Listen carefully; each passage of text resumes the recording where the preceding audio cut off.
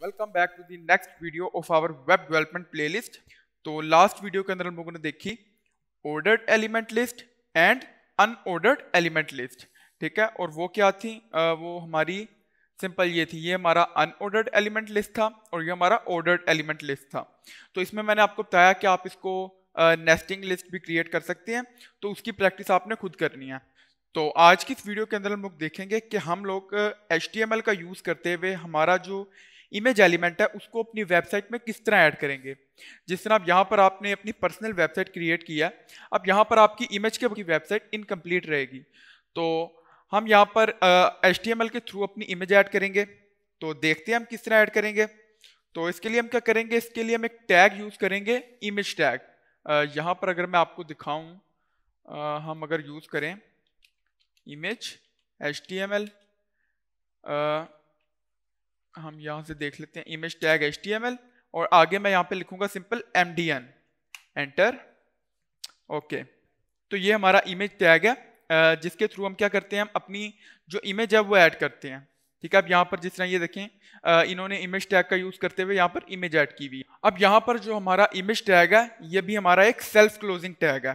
ठीक है? लेकिन जिस तरह बाकी होता था कि हम सिंपल टैग यूज़ करते थे इमेज टैग में आपको साथ साथ जो इमेज आप ऐड कर रहे हैं, उसका आपने साथ सोर्स भी ऐड करना है। यानी जो इमेज आप ऐड कर रहे हैं, अगर वो आप इंटरनेट से ले रहे हैं तो आपने उस इमेज का वहाँ से यूआरएल इसको प्रोवाइड करना है एज अ सोर्स अगर आप अपने कंप्यूटर से या लैपटॉप से ऐड कर रहे हैं तो आपने उसका जो पाथ है, वो आपने ऐड करना है।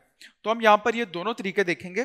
तो इसके लिए हम जाते हैं आ, हमारा जो एटम है जहाँ पर हम अपनी वेबसाइट क्रिएट कर रहे हैं वहाँ पर अब चूँकि जो इमेज है वो मैं चाहता हूँ कि मेरी वेबसाइट पर सबसे ऊपर शो हो यानी जो मेरा नाम है उससे ऊपर मेरी इमेज शो हो। तो यहाँ पर अगर हम देखें तो बॉडी में जो मैंने नेम एंटर किया हेडिंग के साथ उसके ऊपर मैं अपनी इमेज ऐड करूँगा। यहाँ पर सिंपल मैं इमेज लिखूँगा तो ये जो मेरा जो मैंने आपको प्लगइन बताया था इमेज वो क्या कर रहा है वो मुझे खुद ही प्रोवाइड कर देगा इसका पूरा कोड ये देखें। अब यहाँ पर इसके आगे मैं यहाँ पर अपना सोर्स ऐड करूँगा यानी कि इमेज का यूआरएल या फिर अगर मैं अपने लोकल कंप्यूटर से लोकल इमेज ऐड कर रहा हूँ तो उसका मैं पाथ ऐड करूँगा। तो फ़र्स्ट ऑफ़ ऑल हम क्या करते हैं? हम इंटरनेट से देख लेते हैं कि किस तरह ऐड करेंगे। उसके लिए मैं नेट पे जाऊँगा अपनी इमेज ऐड करने के लिए। तो मैं सिंपल यहाँ पे आता हूँ और यहाँ पर फ़िलहाल मैं किसी की भी रैंडम इमेज ऐड कर लेता हूँ तो यहाँ पर मैं लिखता हूँ अनस्प्लैश डॉट कॉम अब अनस्प्लैश डॉट कॉम का अगर आपको नहीं पता तो मैं आपको बता दूँ तो यहाँ पर बहुत सारी इमेजेस हैं, वो भी बिल्कुल फ्री अगर आप अपनी वेबसाइट क्रिएट करने के लिए कोई इमेज आपको नहीं मिल रही है आप ढूंढ रहे हैं तो आप यहाँ पर आके ढूंढें, आपको मिल जाएगी। और अगर नहीं मिलती तो इस तरह की बहुत सारी बेशुमार वेबसाइट्स हैं, जहाँ से जाके आप क्या कर सकते हैं, अपनी इमेज को डाउनलोड कर सकते हैं। तो यहाँ से मैं कोई भी इमेज ऐड कर लेता हूँ। मैं इधर सिंपल लिखता हूँ मैन तो यहाँ पर यह हमें उसका रिज़ल्ट शो करवा देगा और वहाँ से हम सिंपल एक जो पिक्चर है, जो इमेज है, वो हम डाउनलोड करेंगे या फिर हम उसको नेट के थ्रू ऐड करके दिखाएँगे। तो यहाँ से मैं कोई भी एक इमेज ले लेता हूँ। तो यहाँ से मैं फ़िलहाल ये वाली इमेज मैं कर लेता हूँ। इसको सिंपल मैं क्या करूँगा? मैं इसको ओपन कर लेता हूँ फ़र्स्ट ऑफ़ ऑल ओके तो यहाँ पर ये हमारी इमेज आ चुकी है।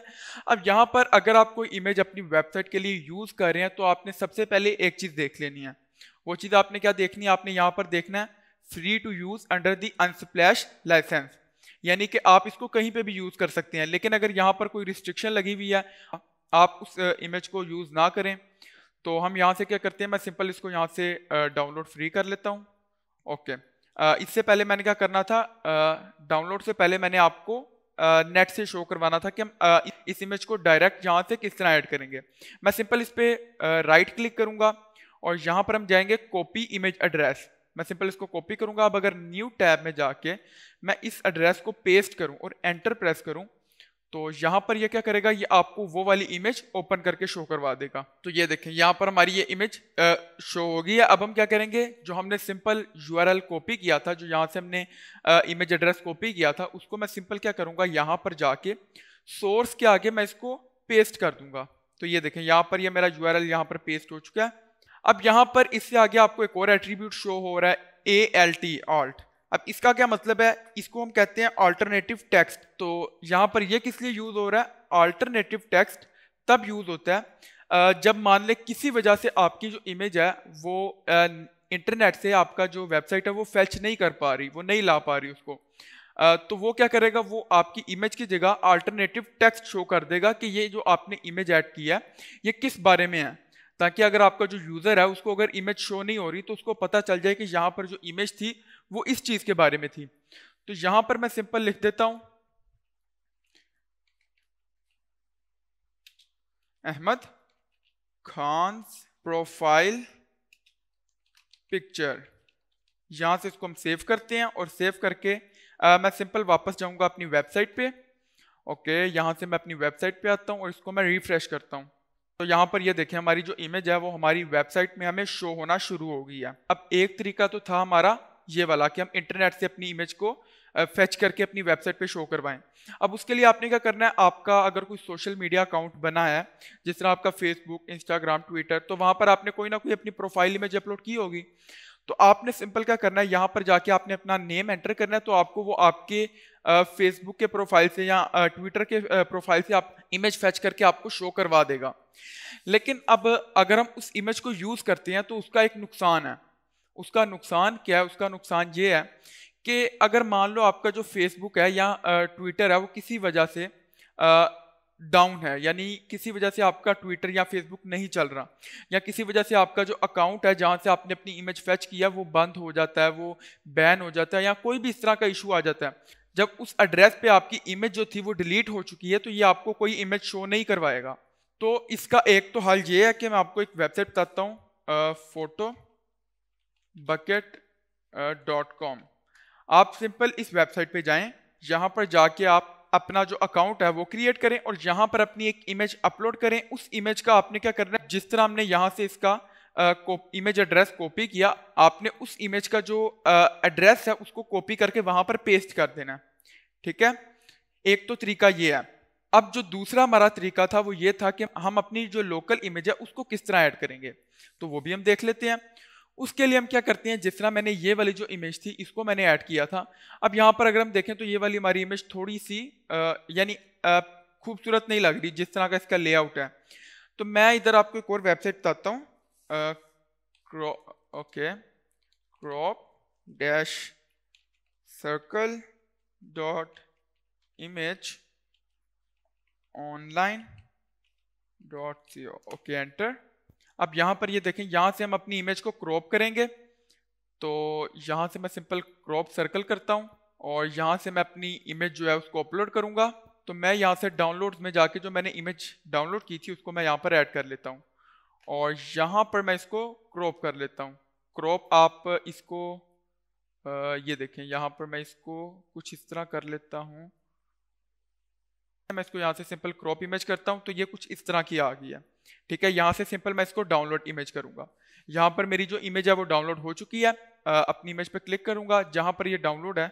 आ, मैं सिंपल उधर जाऊँगा इसको हम क्लोज करते हैं। शो इन फोल्डर ओके यहाँ से अब एक तरीका यह है कि मैं इस इमेज को कट करूँ और जो मेरा जो आ, मैंने फोल्डर क्रिएट किया था वेब डेवलपमेंट वाला इसके अंदर जो हमारी वेबसाइट का फोल्डर था जिसके अंदर हम अपनी वेबसाइट जो है वो क्रिएट कर रहे हैं। ये वाला जो हमारा फोल्डर है, जिस तरह यहाँ पर ये देखें एच पर्सनल साइट मैं सिंपल क्या करूँगा? मैं इस फोल्डर के अंदर जहाँ पर मेरी वेबसाइट पड़ी है, जहाँ पर मेरा इंडेक्स डॉट एच पड़ा हुआ है, यहाँ पर मैं उस इमेज को पेस्ट करूँगा। कि यहाँ पर हम इस यहाँ पर हम उस इमेज को पेस्ट कर देते हैं।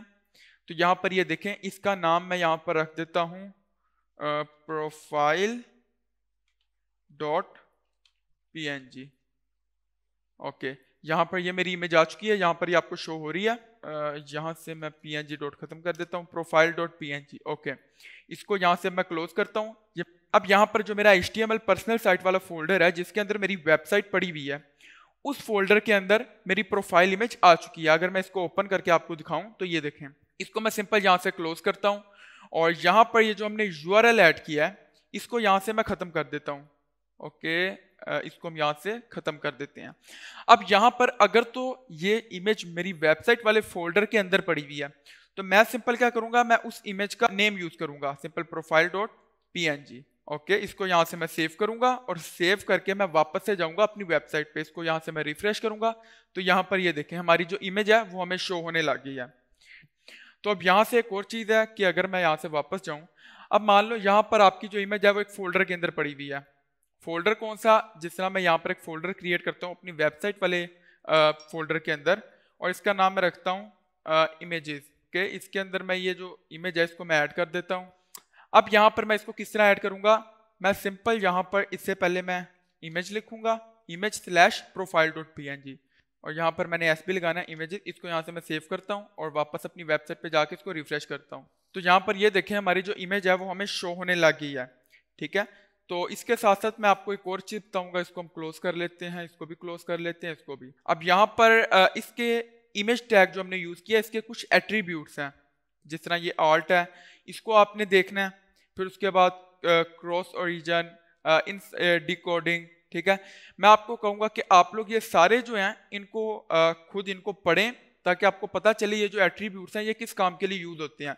और हम इनको यूज़ भी करेंगे जैसे जैसे हम एच में आगे जाते जाएँगे, हम इन सारे एट्रीब्यूट्स को यूज़ भी करेंगे। तो ये थी हमारी आज की वीडियो जो नेक्स्ट लेसन होगा हमारा, उसके अंदर हम देखेंगे लिंक्स और जो एंकर टैग हैं, उनको हम एच के थ्रू किस तरह ऐड करते हैं और किस तरह हम न्यू पेजेस को क्रिएट करके उनको हमारा जो होम पेज है, उसके साथ लिंक करेंगे। तो मिलते हैं नेक्स्ट वीडियो में, तब तक के लिए खुदा